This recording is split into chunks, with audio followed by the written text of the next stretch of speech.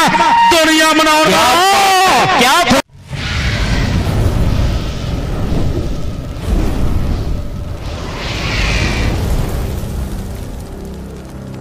ਵੀਰੇ ਵਧਿਆ ਹੋਇਆ ਹੈ ਫਰੰਦੀਪੁਰੀਏ ਗੋਪੀ ਦੇ ਚਰਚੇ ਹੈ ਧੂੜ ਕੋਟ ਕੇ ਗੋਪੀ ਨੂੰ ਦੁਨੀਆ ਜਾਣਦੀ ਹੈ ਪਰ ਸਾਹਮਣੇ ਹਠੂਰ ਵਾਲਾ ਏਕਮ ਏਕਮ ਏਕਮ ਦੁਨੀਆ ਮਨਾਉਣ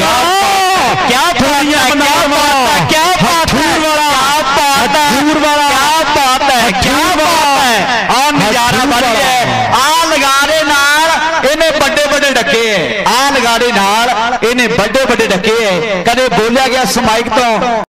ਲੋਵਰ ਤੇ ਹਮੀਰਗੜ ਬਸੀਆਂ ਤੇ ਠੀਕਰੀਵਾਲ ਅਗਲੇ ਮੁਕਾਬਲੇ ਖੇਡੇ ਜਾਣਗੇ। ਕਹਿੰਦੇ ਮੁੰਡਾ ਮੈਦਾਨ ਦੇ ਵਿੱਚ ਸਿੱਧੂ ਮੂਸੇਵਾਲ ਦੇ ਇਲਾਕੇ ਤੋਂ ਆਇਆ ਹੈ ਜਿਹਦੀ ਅਮਿਟ ਯਾਦ ਦੇ ਵਿੱਚ ਆ ਬੱਲੇ ਬੱਲੇ।